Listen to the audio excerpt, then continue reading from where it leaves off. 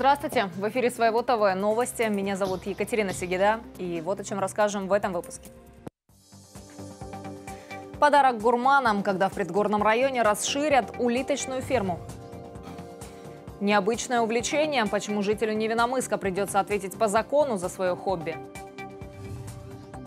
Люди больше хотят овощей, фруктов, однозначно. Полезные знания об осеннем питании, как поддержать организм в тонусе.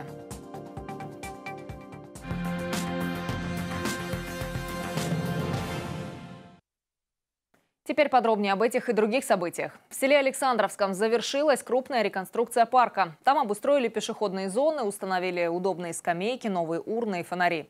Для детей создали игровые комплексы, а также современный памп-трек. Это специальные трассы для велосипедов и самокатов.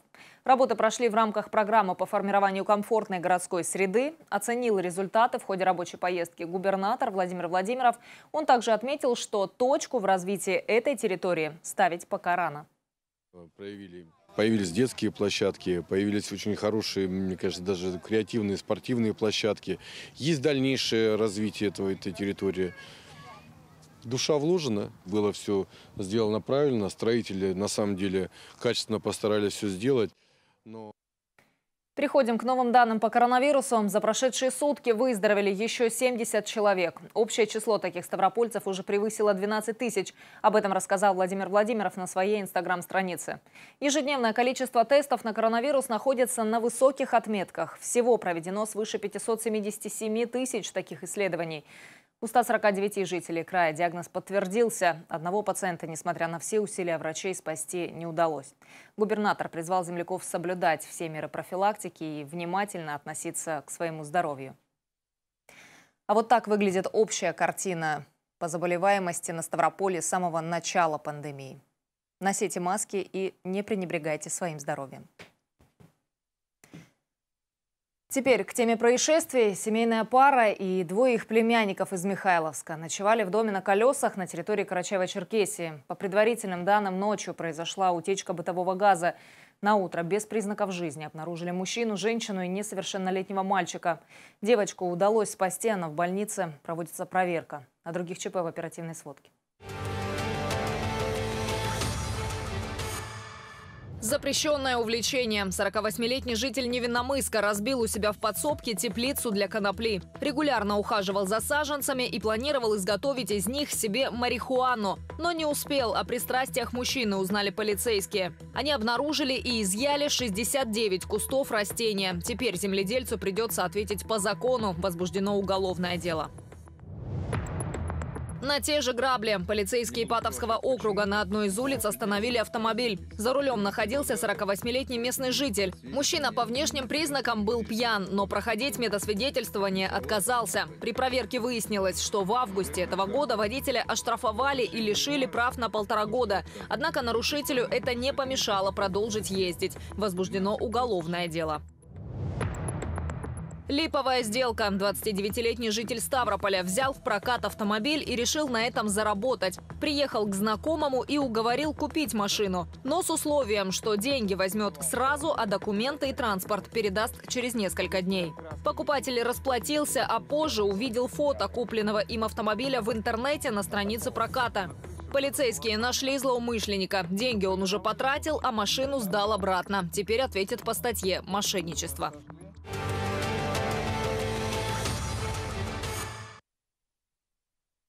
Многофункциональную спортплощадку создали в поселке Крутоярском Георгиевского округа. Местные жители давно мечтали о таком спортивном островке. Для максимальной безопасности на объекте уложили специальное покрытие из резиновой крошки. Осталось только нанести разметку. Площадку построили по госпрограмме «Комплексное развитие сельских территорий». Еще больше новостей из разных уголков края в нашем обзоре.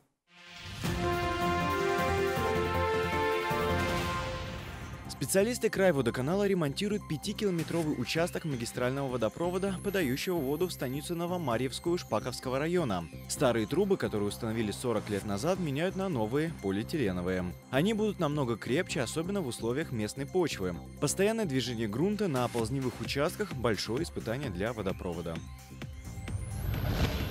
На курортном озере в Железноводске скоро откроют глэмпинг. Это новый вид экотуризма, сочетающий в себе комфорт гостиничного номера с возможностью отдыха на природе. Запустить проект планируют перед новогодними каникулами. Первоначально установят 15 палаток сфер. Улиточную ферму в предгорном районе расширят. Там собрали первый урожай – 6 тонн деликатесного мяса. Это около 350 тысяч штук. Теперь теплицу с улитками планируют увеличить еще на 5000 квадратных метров. В комплексе создадут все условия для развития. Высокая влажность, температура 15-16 градусов. В хозяйстве также планируют продавать мальков маточного стада.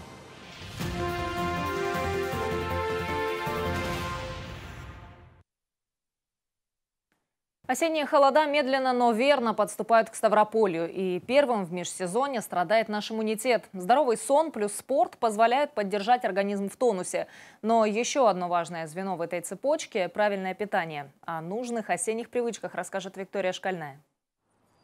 С приходом холодов люди наконец свыкаются с мыслью о том, что наступила осень. Постепенно включается режим экономии энергии. Перемены сейчас происходят не только в нашем эмоциональном состоянии, но и в пищевых привычках. За окном начинает преобладать серость, но яркие краски нужно продолжать впускать в жизнь. И сейчас в виде рациона. Такой совет, чем ярче фрукт или овощ, тем больше в нем полезных витаминов. В это время снижается иммунитет, и разноцветный рацион – лучшее решение для подготовки к холодному сезону. Главный помощник сейчас – витамин С. Поэтому шиповник, облепиха, болгарский перец, лимон, петрушка и корень имбиря должны стать главными продуктами на вашем столе. Также поднимут иммунитет недооцененная квашеная капуста и картофель. К счастью, в магазинах и на рынках сейчас овощей и фруктов в избытке. Люди больше хотят овощей, фруктов, однозначно. Э, сейчас э, винограда много берут. В принципе, помидоры, огурцы как брали, так и берут, но их еще больше хотят. Вот. Также вот сейчас облепиха, малинка у нас, клубничка, как бы капуста, уже белокочаночка пошла. Все это людям интересно, вкусно. У нас больше покупателей с приходом осени. В межсезонье в организме снижается и выработка серотонина, такого нужного всем гормона счастья. Он отвечает за нашу энергичность, спокойствие и хорошее настроение. И главное, в такие моменты не подастся соблазну и не начать заедать осеннюю хандру. Лучше всего это делать именно полезными какими-то сладостями, то есть это натуральные а, сахара, такие как вот фрукты, ягоды, это лучше всего. Это может быть пастила. Самое плохое, что можно сделать, это сочетание сахара с трансжирами это заменители жира. Это находится как раз-таки в фастфуде, в печеньках, во всяких тортиках, э, в десертах печеных промышленного производства. Если это домашняя выпечка, то, конечно, это будет намного полезнее. Ну и куда в такое время без проверенных бабушкиных рецептов? Лук и чеснок неизменно поможет в борьбе с сезонными болезнями. Избежать упадка сил на самом деле несложно. Соблюдайте режим работы и отдыха, правильно питайтесь и заботьтесь о себе. И тогда вы с легкостью пройдете это испытание межсезоньем. А фруктами и овощами уже закупились Виктория Шкальная и Юрий Корниенко. Ставропольское телевидение. Это все новости к этому часу. Еще больше их у нас на сайте stv24.tv. Заходите, там много интересного. И присылайте свои вопросы на номер, который видите на экране, а мы постараемся на них ответить. Ну а сейчас прогноз погоды с моей коллегой Марией Никитиной. Я передаю ей слово, а с вами прощаюсь. Меня зовут Екатерина Сигида. Всего доброго. Здравствуйте, дорогие зрители своего ТВ. О погоде на вторник, 6 октября, узнаете прямо сейчас. В Ставрополе малооблачно. Ожидается сильный юго-восточный ветер 18 метров в секунду. Днем плюс 20, ночью плюс 9. В Изобильнинском и Новоалександровском округах ясно. Днем плюс 23, ночью плюс 11. В Пятигорске и минеральных водах пасмурная погода. Преимущественно без осадков. Днем плюс 20 градусов, ночью плюс 9.